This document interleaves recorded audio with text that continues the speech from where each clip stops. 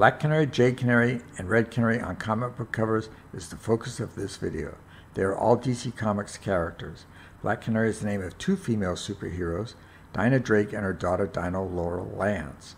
The original version was created by the writer-artist team of Robert Kanigher and Carmine Infantino and debuted in Flash Comics number 86, cover dated August 1947. Since the late 1960s, she has been paired with Green Arrow both professionally and romantically.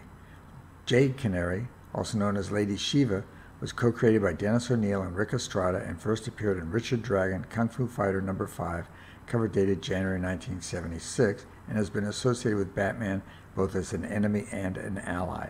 Red Canary is a new hero inspired by Black Canary uh, and appears on the last comic book cover in this video. For information about the video, see the video description section. Please like and subscribe.